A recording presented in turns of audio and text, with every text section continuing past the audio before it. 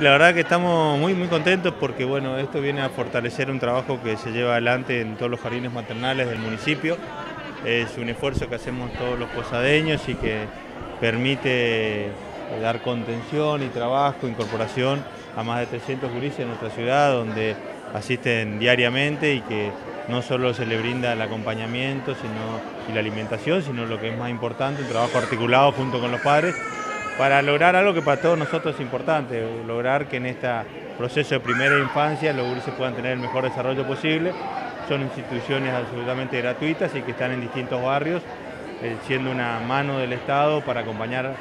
a, los padres, inclusive sobre todo aquellos que tienen menos recursos, para que puedan tener a sus gurises en un jardincito maternal, mientras ellos en muchos casos van a trabajar. ¿Cuántos jardines tiene la ciudad de Posadas? tenemos cuatro que estamos trabajando y asistiendo, de, que es el municipio que lo sostiene. Esto forma parte de un convenio que venimos trabajando también con la Secretaría Nacional de Niñez,